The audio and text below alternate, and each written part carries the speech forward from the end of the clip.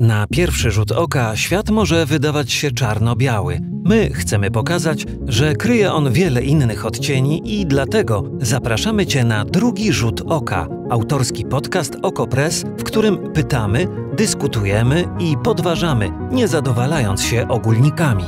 Drugi rzut oka. Posłuchaj, by wiedzieć więcej. Nazywam się Marcel Wandas i w tym podcaście będę zajmował się przede wszystkim kulturą, najczęściej popularną, ale i tą, którą niektórzy nazwaliby wysoką, a nawet fizyczną. Przyjrzę się temu, jak w niej uczestniczymy i jak wpływa na nasze życie. Zapraszam. Dzień dobry, z tej strony Marcel Wandas. Dziś porozmawiamy o serialach, polskich serialach. Wydaje mi się, że kiedyś dla aktora pójście do serialu było taką ostatecznością, przez ostatnie lata jednak e, już wydaje mi się, że przyzwyczailiśmy się do tego, że przede wszystkim amerykańskie gwiazdy, te największe hollywoodzkie nazwiska chętnie zgłaszają się mm, do obsad największych produkcji, na przykład Netflixa, Disney Plus, HBO, a tak naprawdę w tym momencie chyba już Maxa, tak powinno się mówić.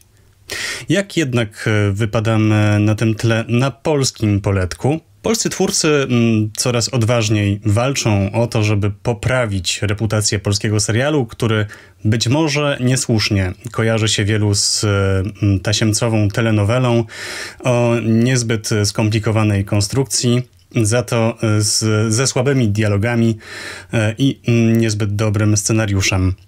Platformy streamingowe, które przez ostatnią dekadę weszły do Polski, coraz chętniej stawiają na polskich twórców i polskie pomysły. Często coraz bardziej odważne. Wspomnieć e, choćby polskie The Office e, czy 1670 komediową produkcję Netflixa.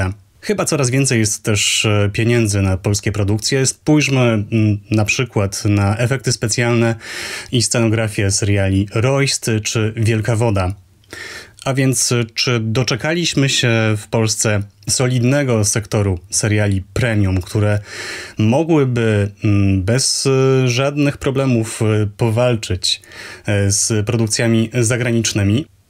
O tym porozmawiam z Katarzyną Czajką Kominiarczuk, baczną obserwatorką popkultury w internecie, znaną jako zwierz popkulturalne. Chciałem Cię zapytać o kondycję i reputację polskiego serialu. Mm, na przykładzie, mm, i tak nawiązując do jednego z wątków serialu Artyści. Nie wiem, czy pamiętasz taki, tak, pamiętam, taki serial. tak. Mhm. E, bardzo dobry, dużo tam wyszło, ale tam też e, troszkę takiej autoironii i autokrytyki się pojawiło wobec e, środowiska aktorskiego, bo był to serial opowiadający o losach teatru i nowego dyrektora jednego z warszawskich teatrów. I jeden z aktorów tam przyjął, przyjął pracę w serialu, to znaczy przyjął rolę w telenoweli i widać było, że no to nie jest najlepszy najlepsze wyjście. Mm, e, I widać było, że e, no, nie chce, ale musi po prostu, żeby spłacić kredyt. Mm, tak, e, tak tam rozwijał się jeden z tych wątków. I czy wydaje ci się, że mm, to nadal może być aktualne, że tak aktorzy, twórcy, ale też odbiorcy widzą serial w Polsce, że to jest y, no, nic y, wzniosłego. Wydaje mi się, że nie. No, pamiętajmy, że serial Artyści też jest serialem z 2016 roku. E, w świecie mm, zmian na rynku telewizyjnym to jest trochę tak jakby było z XIX wieku, bo te zmiany są tak dynamiczne. E, natomiast ja bym tutaj rozdzieliła dwie rzeczy, to znaczy przede wszystkim granie w operze mydlanej, e, czyli w takim bardzo długim tasiemcu, który tak naprawdę nigdy się nie kończy i który fabularnie, ale także re realizacyjnie pozostawia wiele do życzenia, e, który to zawsze granie w tego typu serialach traktowane jest trochę jako fucha, to znaczy e, bardzo często jest tak, że aktorzy, no właśnie, kiedy potrzebują pieniędzy, czy kiedy chcą stałego zatrudnienia, bo te seriale oferują bardzo dobre stałe zatrudnienie, e, to wybierają takie produkcje. Natomiast, no jednak opery mydlane już od dawna nie są główną, głównymi produkcjami serialowymi i głównym skojarzeniem z serialami. E, I dzisiaj, kiedy patrzymy na produkcje serialowe i kiedy patrzymy na to, jaką popularność mogą zapewnić aktorom, jakie wyzwania, no to zdecydowanie już trudno e, traktować je jako mm, tego typu produkcje, które są e, tylko po to, żeby właśnie spłacić kredyt, czy w jakiś sposób podratować budżet. Być może tak było na początku lat 2000, czy trochę nawet później, kiedy te produkcje serialowe w Polsce rzeczywiście nie stały na jakimś szczególnie wysokim poziomie, ale od tamtego czasu bardzo wiele się zmieniło też granie w serialach polskich przestało być e, czymś, co oznacza, że ogląda nas tylko ten procent osób, które oglądają regularnie telewizję, e, bo dzięki streamingowi seriale zaczęła oglądać dużo szersza grupa osób, to zwłaszcza te polskie.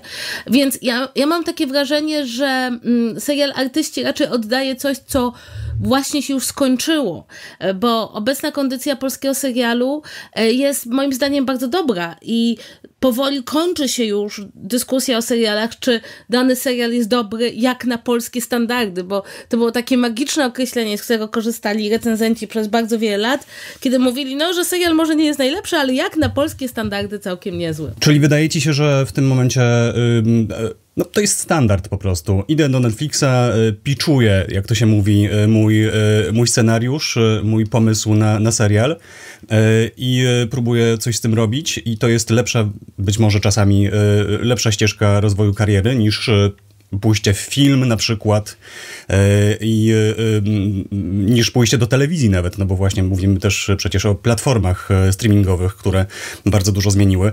To jest teraz taka ścieżka, którą można podążać i która jest w porządku dla większości twórców?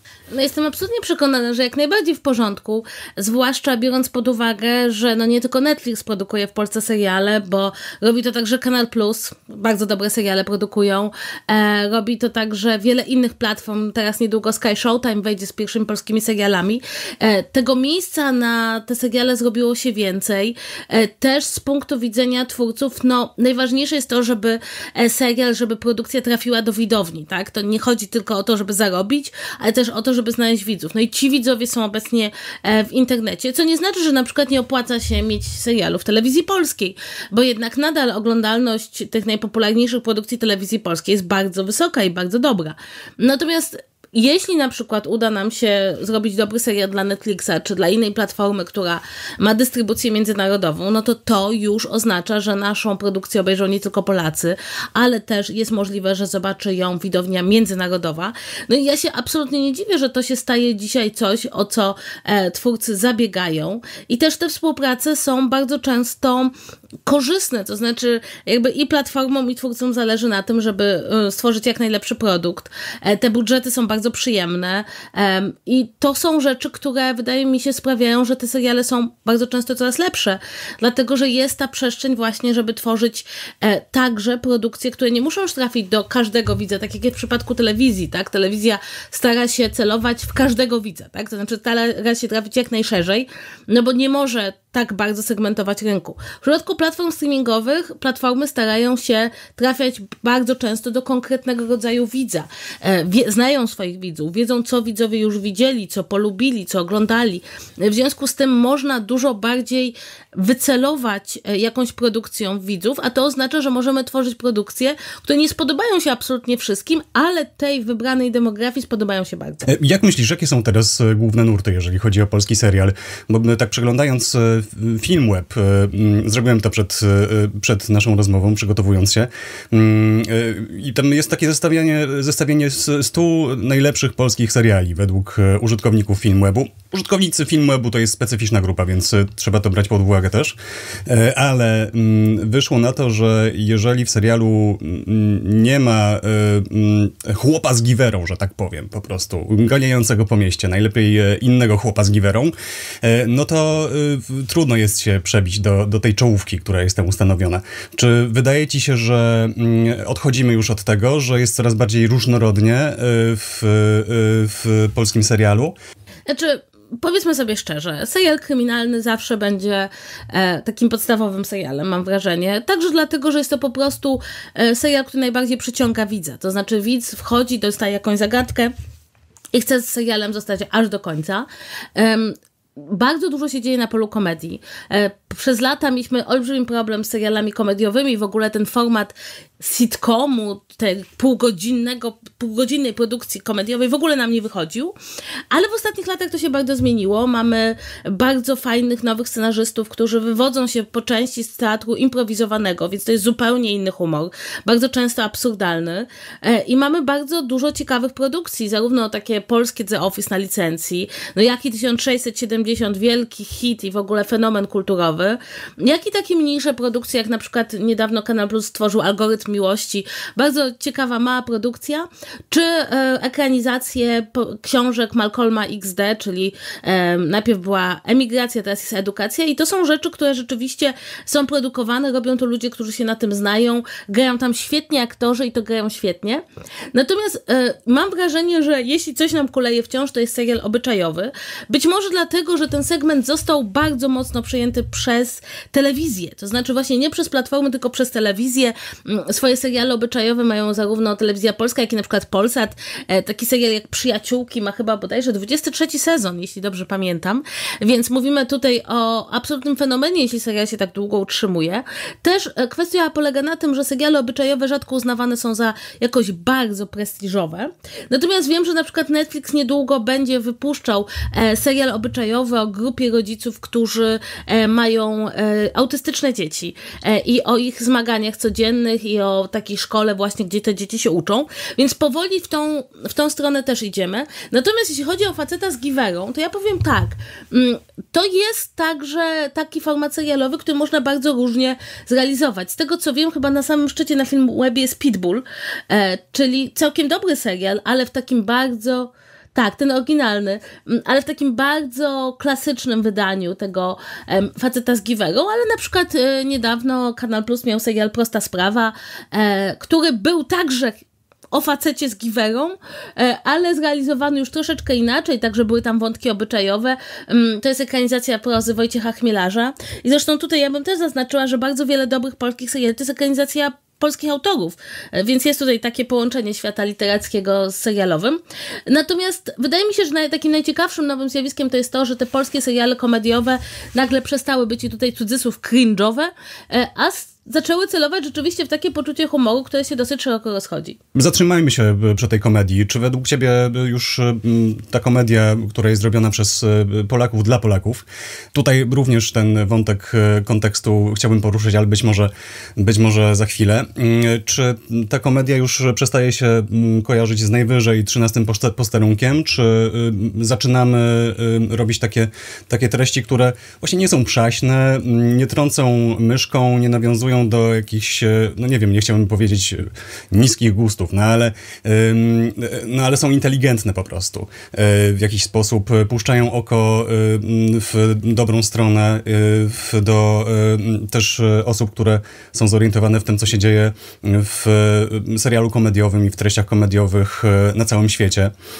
Jest tak, że tutaj idziemy w dobrą stronę, czy zdarzają się też, mówiąc kolokwialnie i z angielska, flopy? No bo wydaje mi się, że 1670 y, dyskusja wokół tego serialu e, pokazała, że y, nie zgadzamy się często co do tego, co, co nas śmieszy, co powinno nas śmieszyć i co rzeczywiście wychodzi, jeżeli chodzi o polską komedię. Ja przyznam szczerze, że uważam, że ta cała dyskusja wobec tego, co nas ma prawo śmieszyć, a co nas nie ma prawa śmieszyć, jest trochę, powiedziałabym, obok całego zjawiska, to znaczy ogólnie rzecz biorąc ludzi śmieszy to, co ich śmieszy, że się tak wyrażę. E, natomiast powiedziałabym, że ja mam dosyć trochę w dyskusji o serialach temu ciągłemu zapatrzeniu na Stany Zjednoczone, bo prawda jest taka, że mm, na przykład taki 1670, który z jednej strony jest e, dowcipem o współczesności, z drugiej strony jest dowcipem o historii, z trzeciej strony jest dowcipem o narodowych przywagach, to jest coś, czego Stany Zjednoczone nie produkują, dlatego że ich komedie nie są w ten sposób polityczne, a na pewno nie są w ten sposób historyczne. Mm, wydaje mi się, że fakt, iż bardzo wiele polskich produkcji serialowych idzie w absurd, e, jest dowodem na to, że to nasze poczucie humoru jest jednak troszeczkę inne, że bardzo dużo z tych dowcipów jest opartych właśnie na takiej umowie między widzem a twórcami, że no jednak mimo wszystko nie, nie tylko nie traktujemy poważnie tematów, żartów, ale też sami siebie nie traktujemy poważnie. E, na przykład uważam, że polskie The Office doskonale pokazuje, że jednak nawet jeśli przeszczepiamy na polski grunt coś zachodniego, to jednak dodajemy do tego no, nasze własne poczucie beznadziei, e, bo te polskie The Office ma to swoje właśnie takie poczucie smutku i beznadziei. I powiem szczerze, że wydaje mi się, że co, co moim zdaniem jest ciekawe, to właśnie to, że my nie staramy się odtworzyć komedii zachodniej, co próbowaliśmy robić wiele lat i wychodziło nam to albo bardzo średnio, albo byliśmy w stanie otworzyć ją tylko w ramach franczyzy, jeden do jednego, tylko raczej wchodzimy w siebie, to znaczy wracamy e, do tego, co nas zawsze bawiło, czyli takie poczucie absurdu, być może takie poczucie trochę wyjątkowości. Polacy czują się lubią czuć się wyjątkowi zarówno z własną historią, jak i z własnym poczuciem humoru. I y, na przykład taki 1670 to nie jest serial eksportowy. To nie jest serial, y, który można pokazać Anglikom i Anglicy go absolutnie zrozumieją. Y, z tego co ja wiem, to podobno wśród Ukraińców się dobrze ten serial oglądał, co mnie wcale nie bawi. E, to znaczy nie bawi, nie dziwi. E, I mam takie poczucie, że być może to jest w ogóle cały nasz problem w tej dyskusji o serialach, e, że no, serial jest dziełem kultury, tak? I dobrze jest wytworzyć własną tożsamość kulturową, a nie tylko patrzeć na to, co przychodzi do nas z zachodu. I ja przyznam szczerze, że ja oglądając ostatnie seriale komediowe, miałam takie poczucie, że właśnie to się dzieje, że tworzymy sobie właśnie jakąś naszą, nasz własny komediowy język, a to, czy w dyskusji w internecie E, prowadzone zwykle na portalach, które zwykle zajmują się polityką e, i jakąś publicystyką i nagle odkrywają, że serial, który ogląda jakiejś dzikiej ilości osób, no nie, nie trafia do nich każdy żart, to moim zdaniem jest raczej dowodem na to, że w Polsce nie mamy problemów tyle z serialami czy filmami, ale z tym, że krytykę kultury uprawia się, no powiedziałabym, bardzo incydentalnie i bardzo często w oderwaniu od e, całego tła związanego z tym, jak wygląda gatunek serialowy, jak wyglądają e, pewne formaty, tylko po prostu ilekroć coś się staje popularne, to przychodzi publicysta, który dotychczas pisał o polityce, e, czy pisał o rzeczach w ogóle niezwiązanych e, z no, tą właśnie tą specyficzną formą kultury i nagle ocenia to wszystko gdzieś tam głosem z góry, że to nie wygląda tak, jak powinno. Więc ja tutaj raczej powiedziałabym, że mm, nie problemem jest być może serial sam w sobie, ale to jak prowadzimy dyskusję o kulturze w Polsce, bo ona jest zawsze bardzo incydentalna. Mhm.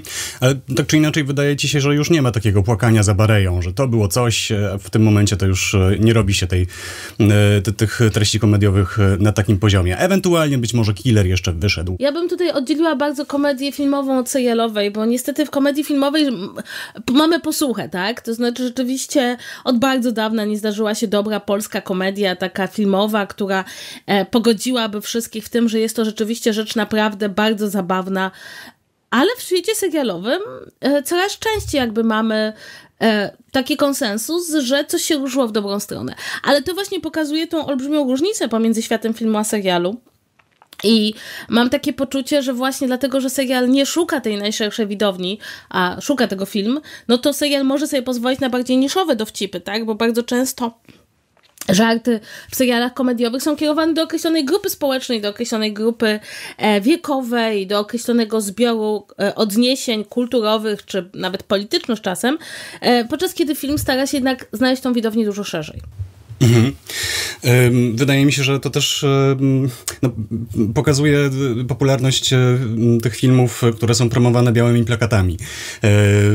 Że rzeczywiście, w, jeżeli chodzi o filmy, e, szczególnie te z gatunku komedii, e, no to one są kierowane do, e, do jak najszerszej publiczności. Najlepiej, żeby to była jeszcze komedia romantyczna. W tym chyba jesteśmy wręcz mocarstwem, bym powiedział. A jeżeli chodzi o te seriale, no to nawet jeżeli nie wszystko wychodzi, to idziemy w jakąś ciekawą stronę. To, to jest e, rzeczywiście krzepiące. Mm, a chciałem cię zapytać jeszcze o e, dialogi, e, z którymi wydaje mi się, że mm, przez długi czas mieliśmy pewien problem. Dało się usłyszeć, że no, trudno jest wyobrazić sobie, że dialogi z seriali Mm, padają w normalnym życiu. To znaczy, że tak ludzie, tak ludzie nie mówią, tak ludzie między sobą nie wymieniają zdań po prostu. Czy według ciebie tutaj poszliśmy też w jakąś dobrą stronę w ostatnich latach? Czy coraz lepiej mm, wychodzi pisanie scenariuszy? I czy rzeczywiście to tak jest, że, że jesteśmy w tym w jakiś sposób słabi?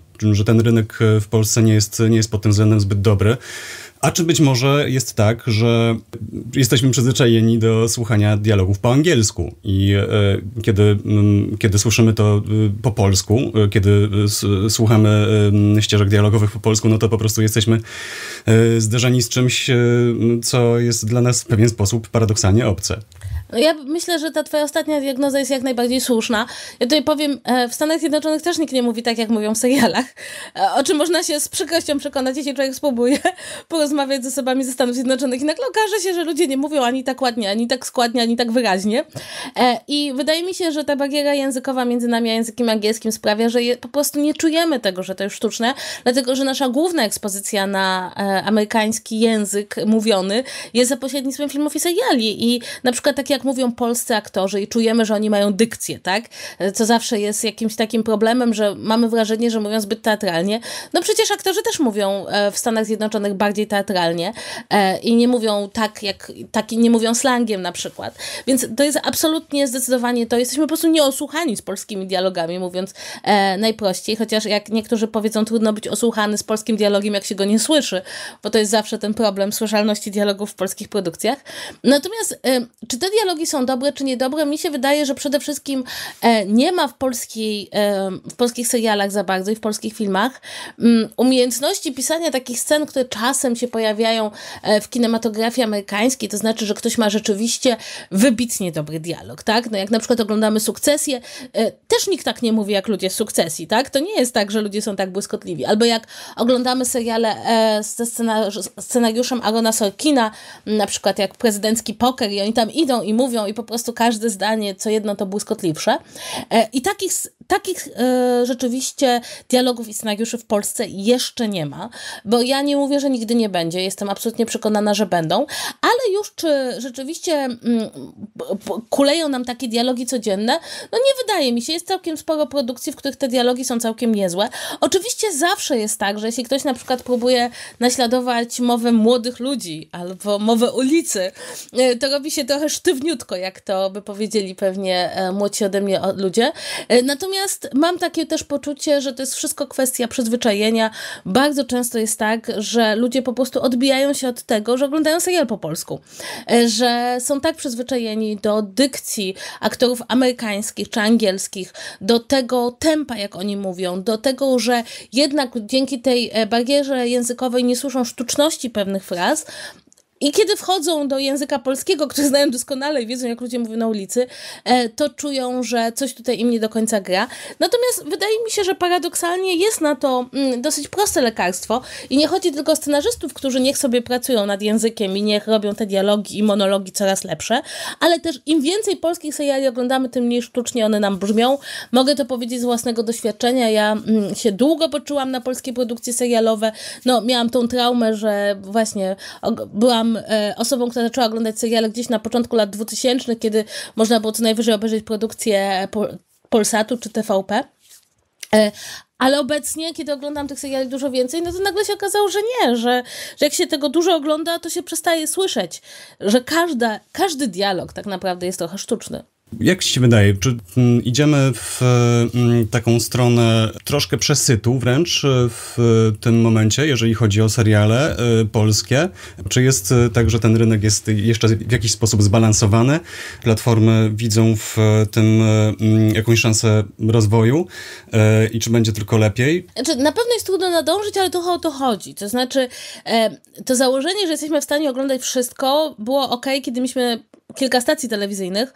E, obecnie na świecie produkuje się rocznie e, około 500 seriali i to chyba tylko anglojęzycznych, więc e, to jest, to jest w ogóle nie, nie, to jest nie do nadrobienia. I też nie o to chodzi, żeśmy oglądali wszystko, bo też to jest bardzo ważne, o czym wspomniałam. Seriale bardzo wybierają swoje, sobie swoje demografie i nawet nikt nie oczekuje od nas, że wszystko zobaczymy. Natomiast uważam, że wciąż można nadążać za takimi produkcjami, które stają się fenomenami, fenomenami kulturowymi, że wciąż e, możemy czekać na bardzo konkretne tytuły. Mm, I wydaje mi się, że jeśli chodzi o to, czy e, platformy widzą, czy stacje i platformy widzą szanse dla tego rynku, no wydaje mi się, patrząc na plany patrząc na to, że dużo produkcji jeszcze nadejdzie, że po sukcesie produkcji zwykle następuje, nawet jeśli nie kolejny sezon, to na przykład kolejny podobny projekt, no bo na przykład Netflix wyprodukował Wielką Wodę, to się okazał e, niesamowity hit. W przyszłym roku mamy Heweliusza, tak? Realizowany w ogóle międzynarodowo, jakiś niesamowity serial e, o tragedii promu Jan Heweliusz. No to to pokazuje, że są te pieniądze i jest to przekonanie, że dobra polska produkcja ma sens nie tylko w Polsce, bo to jest jedna sprawa, ale także międzynarodowo.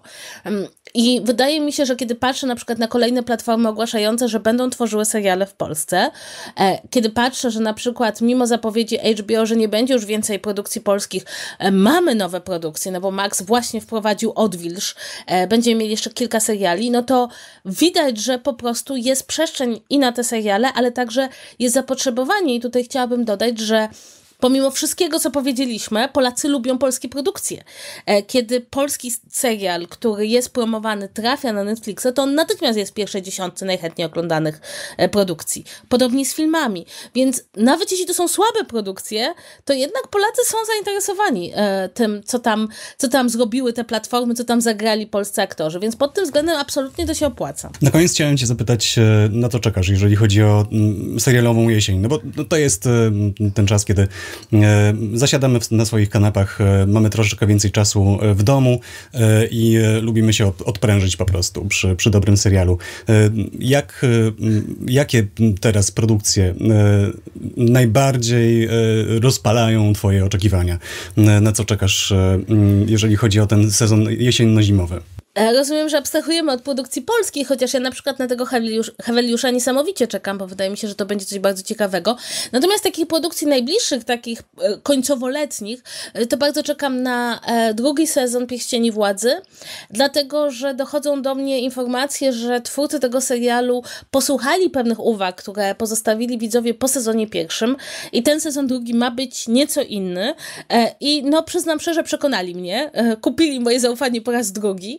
E, I przyznam szczerze, że bardzo, bardzo czekam na powrót do Śródziemia, e, bo to jest taki wspaniały eskapizm, a poza tym jest to serial, no, w który władowano tyle pieniędzy, że to widać. E, więc ja czekam, aż wrócę do Śródziemia, bo kończy się lato, więc trzeba jakoś uciec od rzeczywistości. Podcasty, takie jak ten, mogą powstawać dzięki zaangażowanym słuchaczkom i słuchaczom jeśli podobał Ci się ten podcast, rozważ proszę finansowanie OkoPress na stronie oko.press ukośnik wesprzyj. Link znajdziesz w opisie odcinka. Drugi rzut oka publikujemy w każdy poniedziałek o 6 rano. Więcej treści audio, w tym ciekawe audioreportaże, znajdziesz na naszej stronie internetowej. Do usłyszenia!